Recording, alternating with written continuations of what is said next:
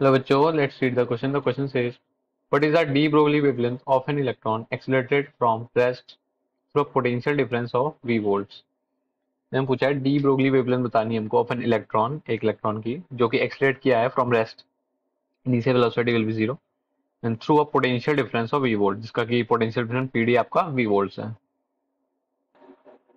So in this question the key concept is that if a de Broglie wavelength अगर कोई object है, ऐसे कुछ वी वाला स्टडी से मूव कर रहा है। सो वी कैन राइट इस wavelength from the formula H by P which can be written further as under root two M के फॉर्मूला आपको याद होनी चाहिए। और डिराइव कर सकते हैं आप वैसे एग्ज़ाम टाइम पे भी। दस लेंदी पड़ जाता। है so here lambda equals to h by under root two m K E.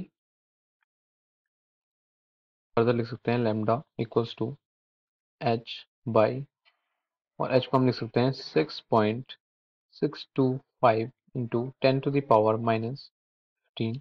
Sorry sorry sorry thirty four.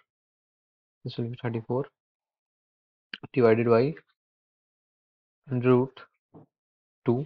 Two तो आपका ऐसे ही है, मास आपका हो जाएगा मास ऑफ़ इलेक्ट्रॉन कितना होता है? 9.1 point one into ten to the power minus thirty four multiply by kinetic energy आपकी कितनी हो जाएगी? ये आपकी E N V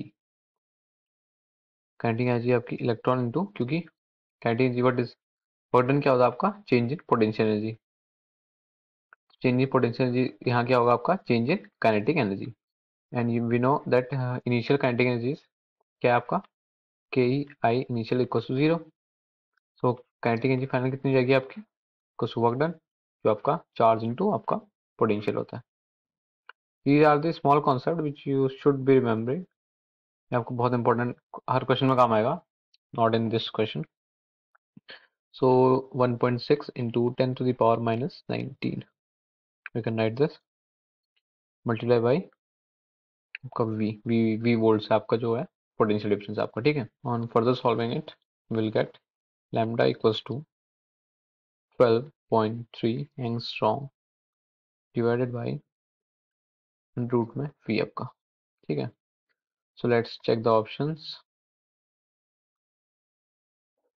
12.3 angstrom by under root 2 under root v sorry this will be your correct one i hope you understood it well best of luck